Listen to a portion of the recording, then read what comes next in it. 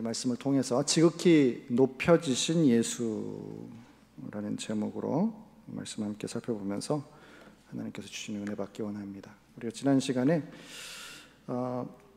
5절부터 어, 너희 안에 이 마음을 품으라 곧 그리스도 예수의 마음이니 하면서 어, 이제 6절부터 11절까지가 하나의 그 아, 찬송 시처럼 이렇게 예, 여기 기록이 되었다 그랬습니다. 아주 아름답게 또 하나님의 마음, 또 그리스도의 마음, 특별히 예, 그리스도의 자신을 온전히 비워서 죽기까지 복종하시는 그 아, 마음이 예, 잘또 담겨져 있고 오늘은 이제 그 그래서 예수님이 온전히 자신을 비워서 원래 하나님과 아, 영광과 권능에 있어서 동등한 하나님이신데 아, 자신을 비워서 종의 형체를 입고 우리에게 찾아오시고 마국간에서부터 십자가에 이르기까지 아, 주님이 주실 수 있는 모든 것을 다 아, 주셨습니다.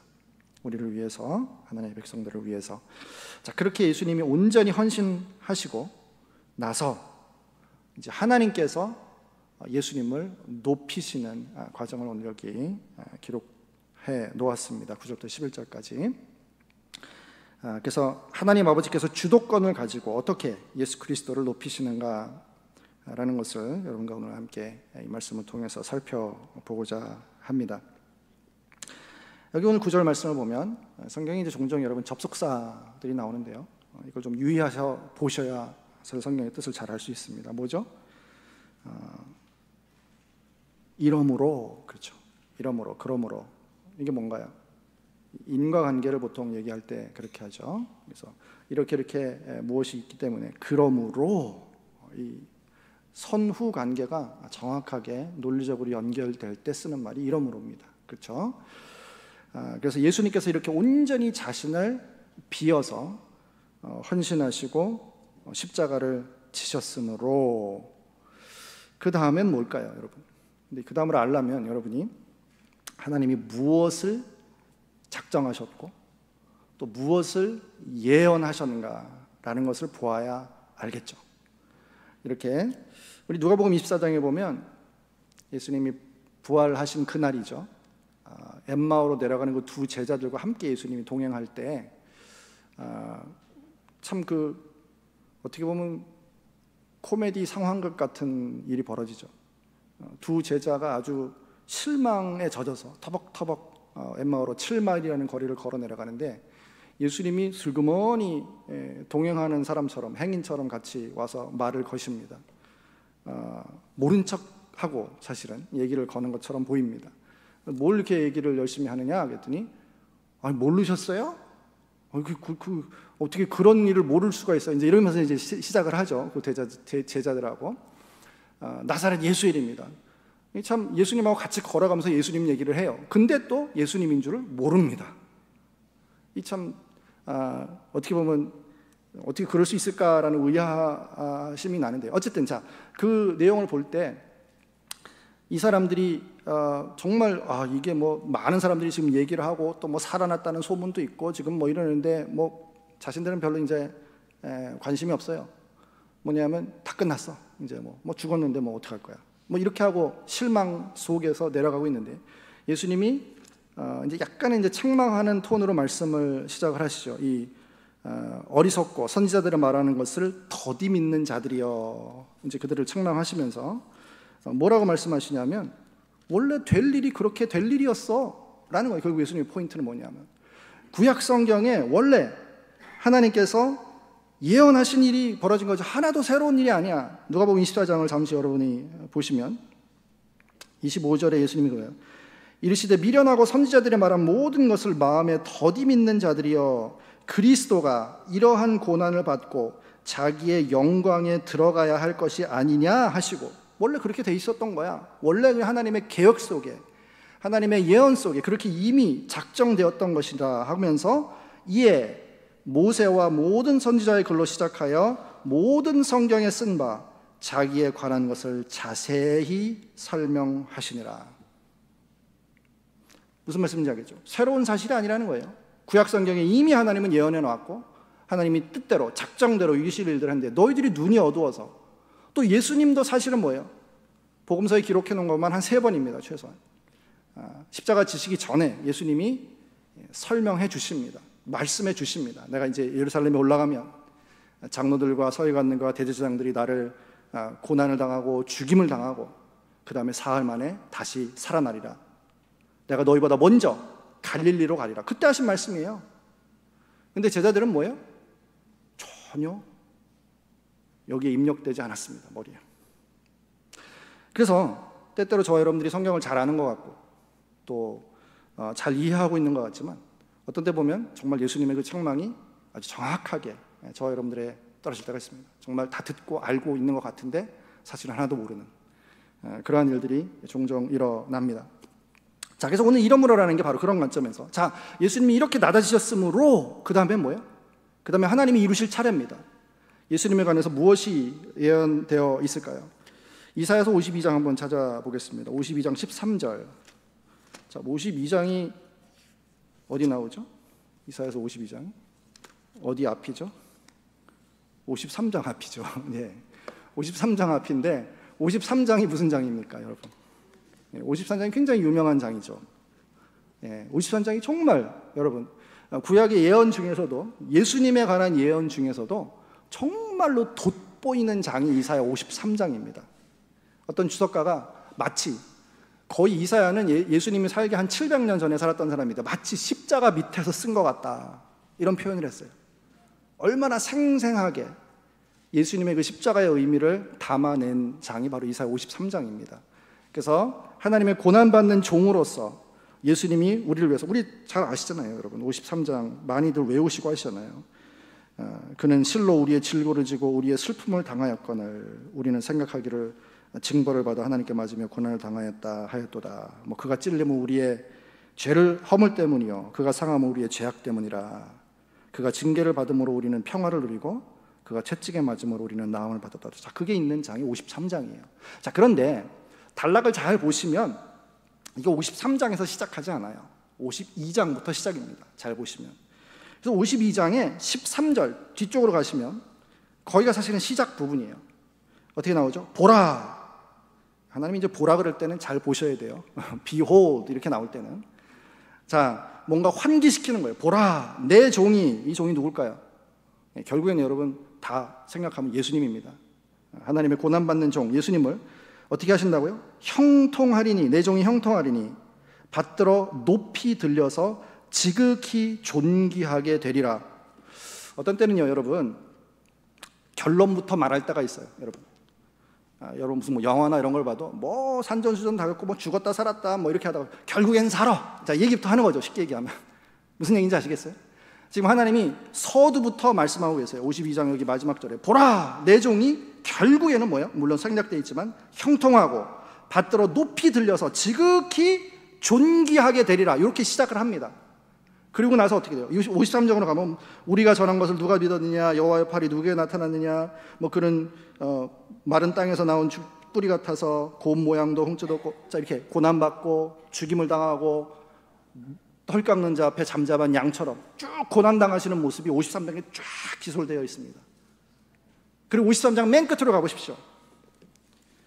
12절. 그러므로 내가 그에게 존귀한 자와 함께 몫을 받게 하며 강한 자와 함께 탈취한 것을 나누게 하리니 이는 그가 자기의 영혼을 버려 사망에 이르게 하며 범죄자 중 하나로 헤아림을 받았습니다. 그러나 그가 많은 사람의 죄를 담당하며 범죄자를 위하여 기도하니라. 자, 13절도 일종의 그 매짐인데요. 그가 존귀한 자와 함께 몫을 받게 되고 강한 자와 함께 탈취하는 것을 나누게 돼. 이게 뭐죠?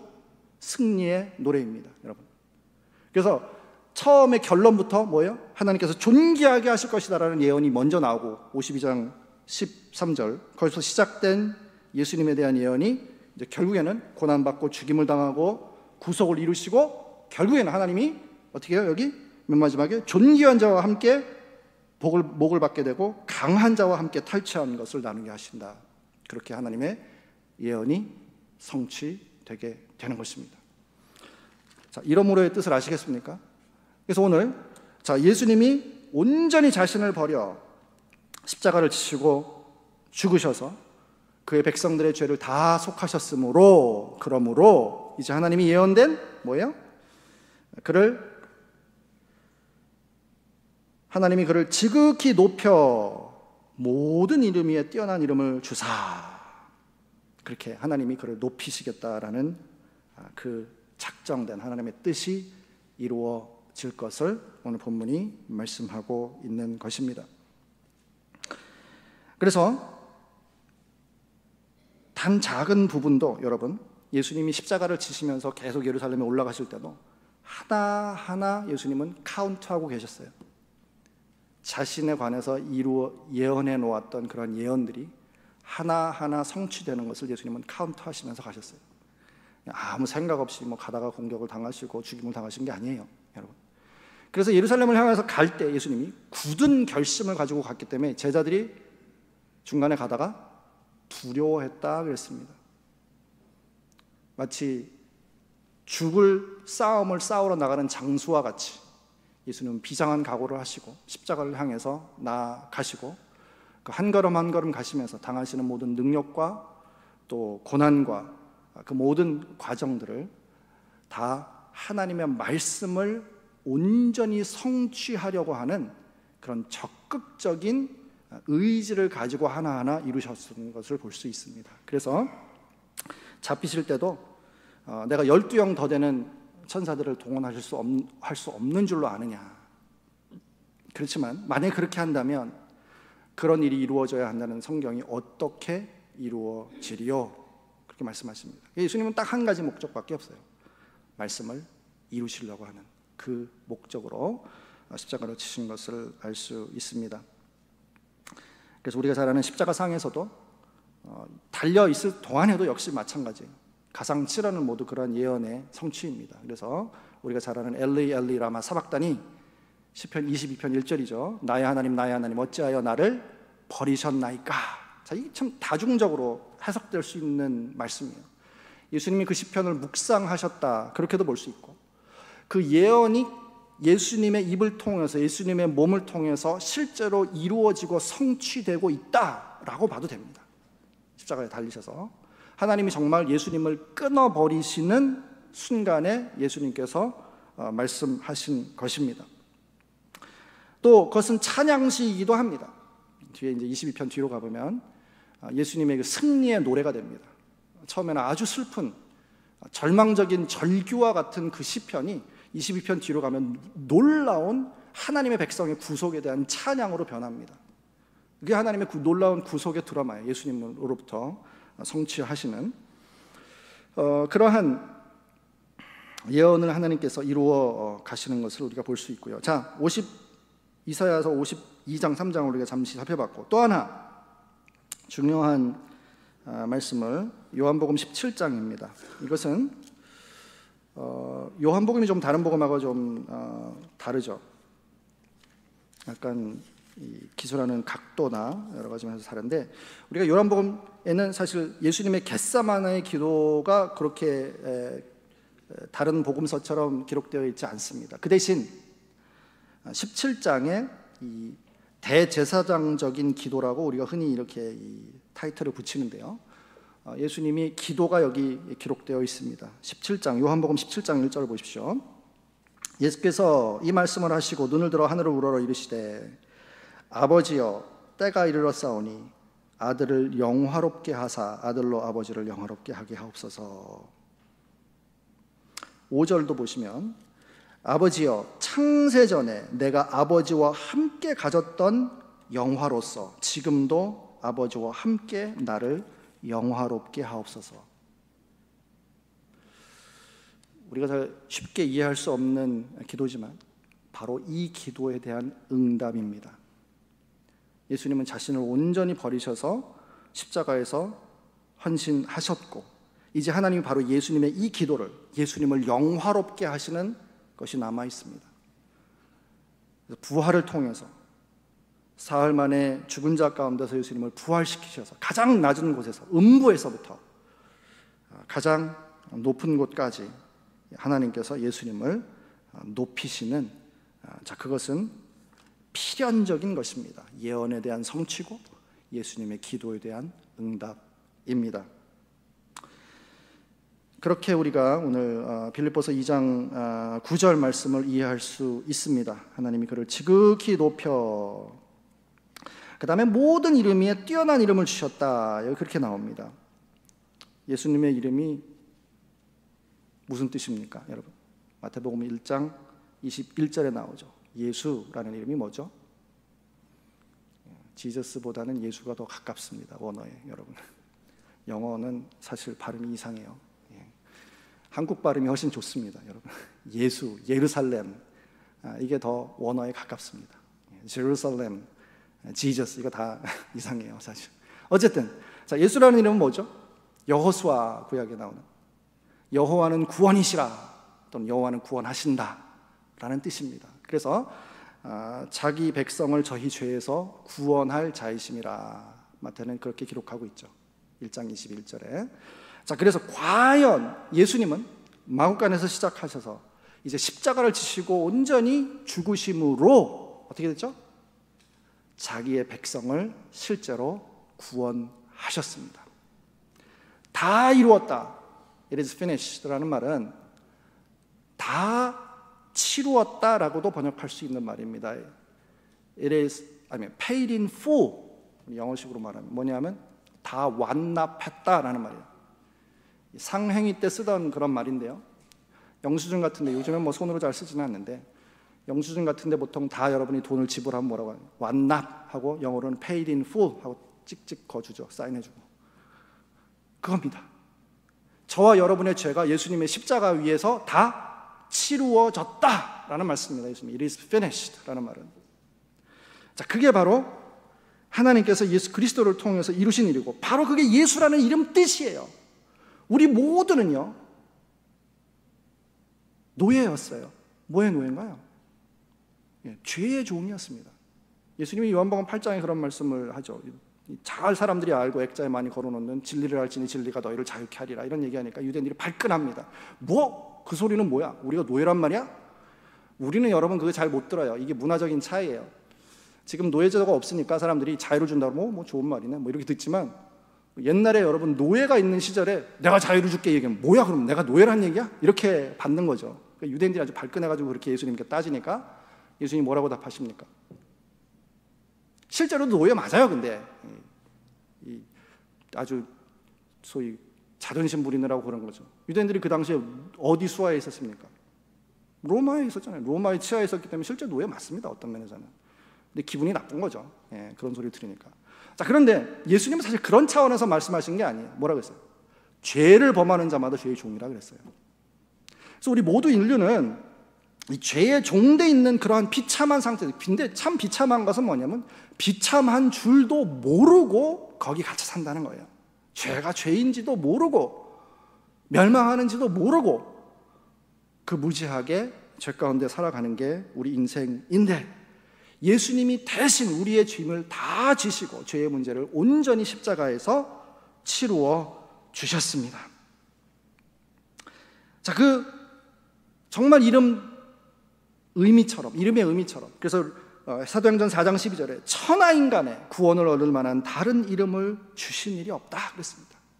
예수 이름 외에는 우리는 우리의 이 죄 짐을 벗어 버릴 수가 없습니다. 이 죄의 노예에서 우리를 풀어서 해방할 수가 없다라는 사실입니다.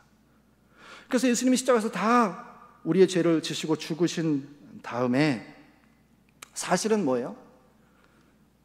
아무도 뭐 그런 생각을 하지는 않았겠지만 실제로 우리가 가정적으로 보면 여러분 무슨 여러분이 뭐 진짜 무슨 세기의 경기 뭐 이런 거 보시면 아주 그 손에 땀을 치면서 보잖아요, 여러분. 무슨 뭐 챔피언 뭐 권투 선수가 있다 예를 들어서 세계 챔피언이고 이 사람 뭐 한 번도 져본 적이 없다 그러면 막 어, 이 굉장히 사람들이 손에 땀을 쥐고 이렇게 보면 아 이번에 정말 이길까 질까 이런 좀 긴장감이 어떻게 보면 아, 있으면 좋은데 별로 없죠 사람들이. 만약에 정말 예수님이 살, 그러니까 십자가에 못 박혀 죽으셨는데 여러분 3일 만에 안 살아나면 어떻게 되는 거죠? 큰일 나는 거죠. 네. 다 실패로 끝나는 거예요. 우리 모두가 다 희망을 잃어버리는 것입니다, 여러분. 우리 모두 죄 가운데 죽어야 돼. 이제 더 이상 소망이 없습니다. 예수님이 마지막 대표예요. 둘째 아담이에요. 예수님 만약에 실패하셨다면 우리 모두는 정말 아무 희망이 없습니다. 자, 그런데 정말로 사흘 만에 주님이 어떻게 해요? 그 무덤에서 다시 살아나십니다. 자, 이게 좀 감격이 있어야 되는데요. 자, 그걸 로마서 1장을 뭐라고 표현하고 있냐면요. 제가 보통은 이제 부활절 설교할 때 그렇게 하는데 사실 이제 교리들은 사실 다른 종교들도 여러 뭐, 어, 뭐 좋은 얘기들 많이 하잖아요. 근데 이제 그렇게 보면 우리 기독교도 사실 다른 사람들이 볼 때는 뭐 좋은 윤리, 도덕, 뭐 사랑, 뭐 이런 걸 가리키는 종교처럼 보이는데 정말 하나 중요한 요소는 뭐냐면 예수님이 정말 부활해서 살아나셨다라는 게 사실이 아니라면 고린도전 15장에 사도 바울이 말씀한 듯이 뭐예요? 우리는 정말 뭐 저를 비롯해서 다 최고의 사기꾼들이 되는 거고 또 가장 불쌍한 사람이에요. 왜? 헛된 걸 가지고 계속 인생을 거기다가 허비하고 헌신하고 뭐 물질, 시간, 인생을 다 거기다가 바치고 살아가잖아요, 우리가. 그게 정말 사실이 아니라면 여러분 정말 심각한 문제가 발생합니다. 자, 그런데 과연 예수님은 다시 살아나셨습니다.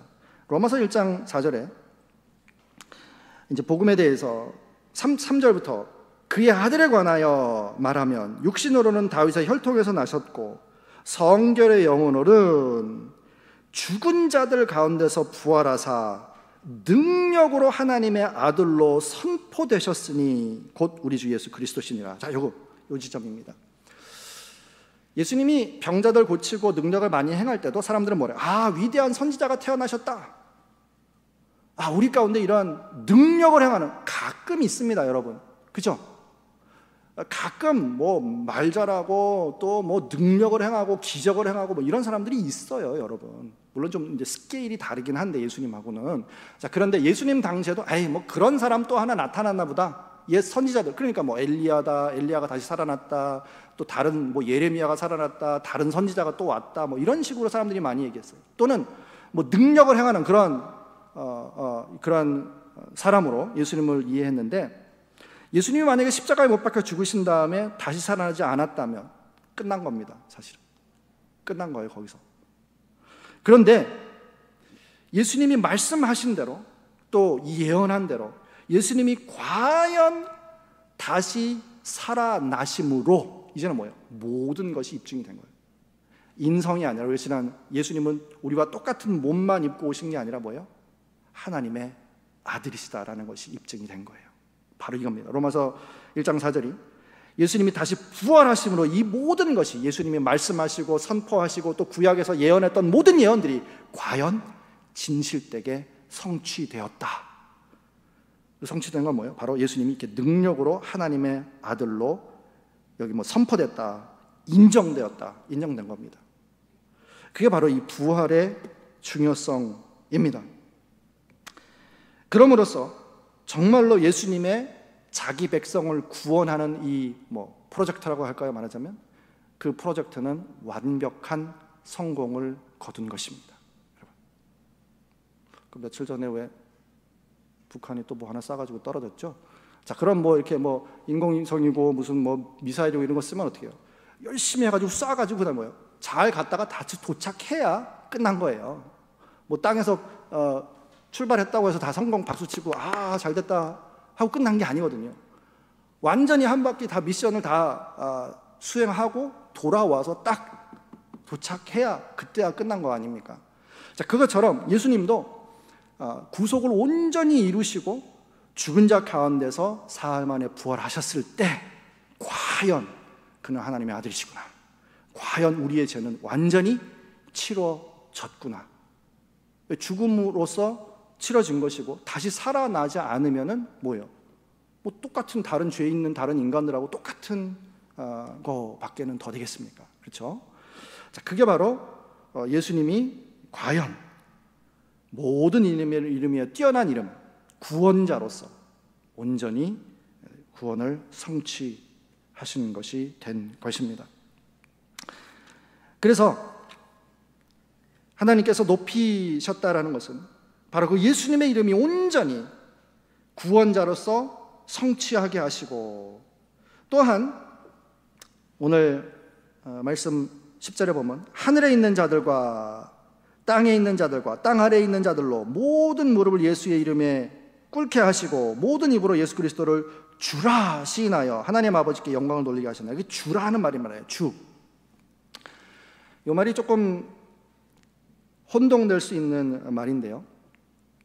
특히 이제 원어 성경을 보면 조금 이게 그런 게 원래 구약 성경 우리나라 아, 성경에는 보통 여호와 하나님 이렇게 이제 번역을 해놨는데요. 여호와라는 말 이게 이제 하나님의 이름인데요. 뭐 성호 거룩한 이름 이렇게 보통 이야기를 하는데 히브리 성경에 이것을 이제 그 기록해 놨는데요. 사실은 어, 유대인들은 이걸 읽지를 못했어요. 테트라그라메론이라 그래서 이 글자는 하나님의 이름은 너무 거룩해서 감히 우리 죄악된 인간들이 입에 담으면 안 된다라고 생각했어요. 그래서 그, 예, 그 야훼라는 그 이름 뭐, 뭐 뭐라고 사실은 그래서 아무도 이게 정확하게 어떻게 읽는지를 몰라요 발음을 사실은. 어쨌든 근데 그 말이 나올 때마다 바꿔서 읽었어요. 뭐라고 바꿨냐면 아도나이라고 바꿔서 읽었어요. 그게 뭐냐면 주라는 말이에요. 그래서 그게 어떻게 아무튼 이 영어 성경에 번역하는 이 전통에서도 어, 우리나라는 이제 여호와라고 번역을 했는데 영어 성경에는 L O R D를 다 대문자로 써서 번역을 했어요. 구약 성경에 보면 그건 여호와예요. 우리나라 여러분 성경을 비교해 보시면 알아요. 어, 우리나라 성경은 여호와라고 번역된 말이 영어, 영어 성경에는 L O R D 다 아, 대문자로 되어 있어요. 어쨌든 이제 그거는 히브리 전통 속에서 유대인들이 그 말이 나올 때마다 주라고 아도나이라고 읽었던 이제 그런 것과 연관이 되어 있습니다. 그런데 사실 요한복음 같은 데 보면요. 그 이건 또 약간 헬라어로 가니까 여러분 좀 머리가 복잡한데 ego eimi라고 이런 게 나와요. 뭐냐면 I am 예수님 뭐냐 나는 나는 포도나무다. 나는 생명의 떡이다. 뭐 이런 예수님이 나는 뭐다 나는 뭐다 이런 말씀이 나오거든요. 근데 그게 에고 에임인데 그게 뭐냐면 I am 그게 출애굽기 3장에 나오는 사실 나는 스스로 있는 자 아니라 라는 그것과 연결이 돼요. 그러니까 결국 뭐냐면 여러분 머리가 좀 복잡하시겠지만 예수님이 나는이라고 하는 것은 뭐냐면 구약 성경에 나오는 그 여호와 하나님 그 두려운 하나님이 곧 나다라는 얘기가 되는 거예요, 여러분. 자, 그래서 오늘 이 말씀도 그것과 사실은 연관이 되어 있어요. 예수님은 그렇게 구속을 온전히 성취하심으로써 여기 뭐예요? 주라 시인하게 하십니다. 요한복음 20장을 보십시오. 도마라는 사람이 있었죠. 여러분 예수님의 열두 제자 중에 하나입니다. 우리가 여기서 의심 많은 도마 이게 좀 불명예스러운 별명이 붙은 사람인데요. 원래 도마 빼고 열 명의 제자들이 모여 있을 때 예수님이 한번 부활하신 예수님이 나타나셨습니다. 근데 그때에 도마가 있지 않았어요. 그리고 나서 이제 나머지 제자들이 도마에게 얘기를 해주죠. 어, 예수님이 진짜 부활하셔서 우리 가운데 나타나셨어. 이렇게 얘기했더니 도마가 뭐라고 얘기합니까? 에휴, 정말 말도 안 되는 소리 하고 있네, 진짜. 됐어, 됐어. 그만. 그러면서 나는 내가 내 손으로 예수님 못자국에 손 넣어보고 창자국에 손 넣어보기 전에는 뭐예요? 믿지 못하겠다가 아니에요. 믿지 않겠다. I will not. 그렇게 얘기했어요. 요한복음 20장에 나오는 스토리죠. 그래서 예수님이 정말로 그 다음번에는 도마까지 있는 상태에서 나타나십니다. 자, 그래서 어떻게 했죠, 도마에게? 내 손가락을 이리 내밀어 내 손을 보고서 어, 또 내밀어 내 옆구리에 넣어 보라. 그리고 믿음 없는 자가 되지 말고 믿는 자가 되라. 그랬더니 자, 도마가 그 상황에서 예수님을 목격하고 나서 한 고백이 뭐죠?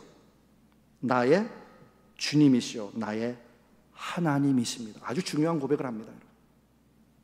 제자들이 그러니까 예수님을 3년을 따라다녔지만 예수님이 바람이 부는 파도와 아, 그 갈릴리 바다를 잔잔케 하셨을 때도 뭐예요? 저가 뉘기에 어, 도대체 누구시지? 그러니까 이 정도로 참 둔했어요. 그러니까 예수님이 자주자주 책망을 하죠. 이 믿음이 없는 세대요. 내가 너희와 얼마나 있겠으며 얼마나 참겠느냐 이런 말씀을 하시는 게 같이 따라다니고 뭐 떡 먹고 좋다고 그러고 오병이어 맨날 이러고 그 큰 소리 치고 다녔지만 진짜 예수님이 누군지를 잘 몰라요 이렇게. 그래서 이제서야 도마가 그 부활하신 주님을 만나고 나서 뭐예요? 나의 주시며 나의 하나님이십니다. 우리가 지난 시간에 얘기했던 예수님의 신성. 예수님은 온전한 사람이시고 또 뭐예요? 온전한 하나님이십니다. 50% 사람, 50% 하나님이 아니고요. 절대 그렇게 하면 안 됩니다, 여러분. 이단이에요, 그건. 100% 사람, 100% 하나님이십니다. 그래서 정말 예수를 믿는 사람은 이 고백이 나와요. 주님은 나의 구원자십니다. 또 주님은 나의 주님이십니다. 또는 하나님이십니다. 이 고백이 나와야 돼요. 이게 온전하게 예수님을 믿는 사람의 입에서 나오는 고백이죠. 자, 그렇게 예수, 하나님께서 예수님을 높이셔서 이렇게 가장 높은 이름으로 누구든지 예수를 믿는 자가 그래서 고린도전서 12장 2절에 이렇게 나오죠. 그러므로 내가 너에게 말하노니 하나님의 영으로 말하는 자는 누구든지 예수를 저주할 자라 하지 아니하고 또 성령으로 아니하고는 누구든지 예수를 주시라 할 수 없느니라. 이게 바로 그래서 성령께서 역사하시고 우리 가운데 인격적으로 예수 그리스도를 만난 자가 예수님을 주와 구세주로 고백하게 되는 거죠. 나의 구원자시며 나의 주십니다. 나의 하나님이십니다. 라고 고백을 하게 되는 것입니다. 이게 바로 하나님의 예수님을 높이셔서 이제 결국 어, 모든 그다음에 이제 이걸 좀 풀어야 되는 건데요. 여기 보면 모든 무릎으로 그를 그 모든 무릎을 예수의 이름에 꿇게 하신다. 또 모든 입으로 예수 그리스도를 주라 시인한다 그랬는데 자, 이게 하나님의 궁극적인 계획입니다, 사실.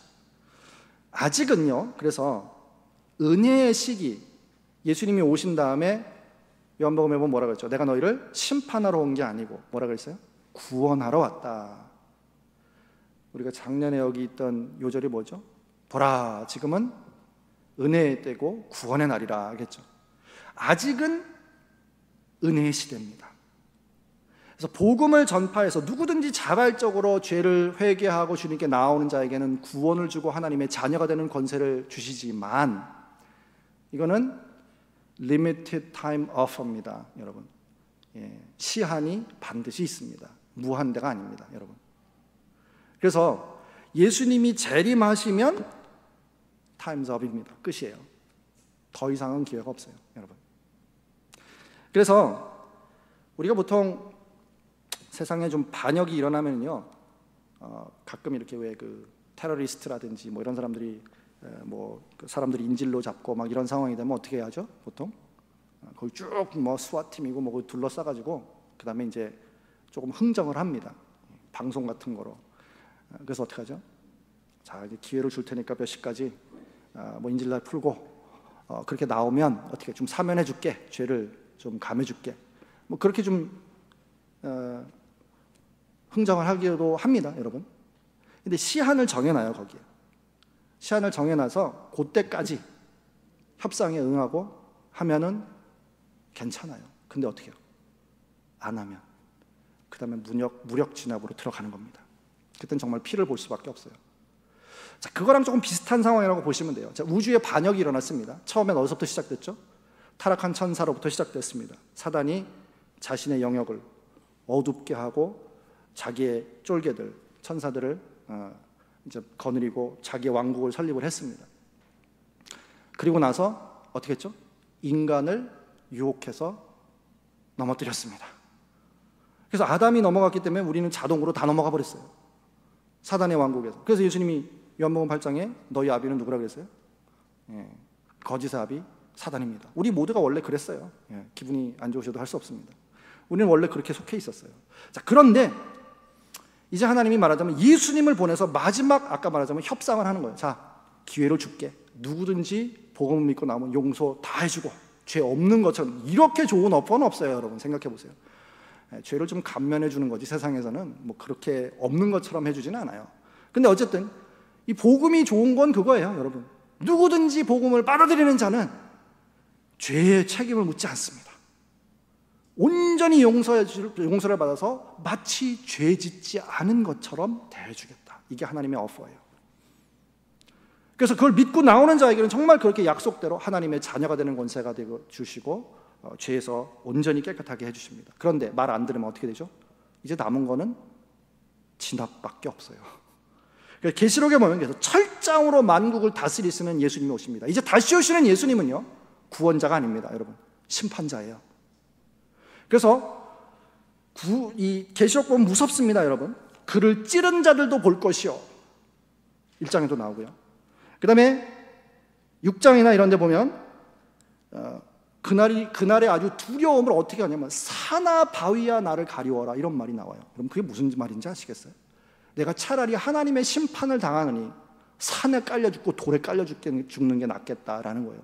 얼마나 무서운 얘기인지 아십니까, 여러분? 그게 그러니까 하나님의 심판이 여러분 사람들이 어, 잘 몰라요, 그게. 그래서 누군가 그렇게 얘기를 했는데 무딘 것 같은데 너희가 할 수만 있으면 너희들 그냥 꼭꼭 묶어다가 지옥 가까이까지만 좀 가고 가서 그 히트가 얼마나 뜨거운지 얼마나 두려운 것인지 좀 깨닫게 하고 싶다.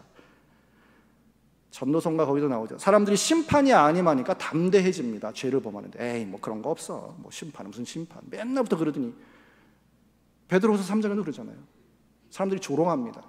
니들은 맨날 심판 심판. 에이 세상 종말이 오니까 니들이나 잘, 잘 먹고 잘 준비하거라. 이러는데 정말 심판이 올 때는 이렇게 두렵게 옵니다. 그래서 사나 바위야 나를 가려라. 자, 그러한 심판이 오고 결국에는 그래서 이제는 뭐야? 강제로 무릎을 꿇립니다. 그래서 오늘 모든 무릎이 꿇린다. 그건 믿는 사람이나 안 믿는 사람이나 그를 찌른 자나 거부하고 하나님을 모독한 모든 자나 다 뭐예요? 강제로 무릎을 꿇릴 날이 옵니다. 자, 우리는 복 받은 자들이어서 뭐예요? 자발적으로 꿇죠. 주님 감사합니다 하고 우리가 또 우리 입으로도 뭐예요? 주님, 주님 하면서 우리가 고백하는 모든 입으로 그를 아, 주로 고백할 날이 반드시 온다라는 것입니다. 그게 하나님이 예수님을 온전히 높이시는 아, 계획이고 그래서 계시록 5장이나 이런 데 보면 어린 양을 찬양합니다. 천국에서 하는 이 그거예요, 여러분. 어린 양이 우리를 위하여 구속을 이루어 주신 그 놀라운 은혜를 감사하고 찬송하고 예배하고 경배하는 그 일이 바로 천국에서 벌어질 일입니다.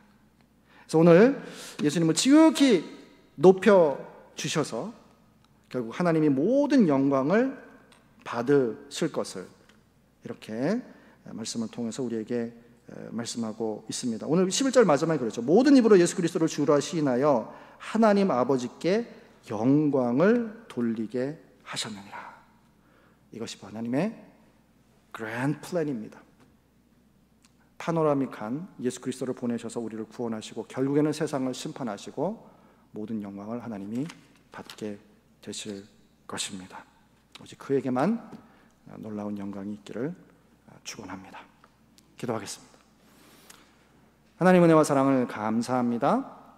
하물과 죄 가운데 죽었던 저희, 소망이 없던 저희들에게 예수 그리스도를 보내주시고 그를 통해서 우리의 모든 죄를 십자가 위에서 해결하시고 그 진노와 저주를 다 주님의 몸에 쏟아 부으셔서 사망의 고통 가운데 주님이 친히 들어가시고 그 가운데서 사흘 만에 다시 살아나심으로 말미암아 우리 모두의 구원을 완성하여 주시고 지극히 높은 곳에서 하나님 보좌 우편에서 다스리시며 또 영광의 주로 심판의 왕으로 오실 주님. 이제 그 주님을 바라보며 고대하며 하나님께서 저들에게 베풀어 주신 모든 은혜를 감사하는 자들이 되게 하시고 예수 그리스도를 주와 구원자로 날마다 고백하며 그 은혜를 힘입어 살아가는 하나님의 백성들 되게 해 주시옵소서 감사드리며 모든 말씀 주 예수 그리스도 이름으로 기도하옵나이다. 아멘. 이 시간은요, 우리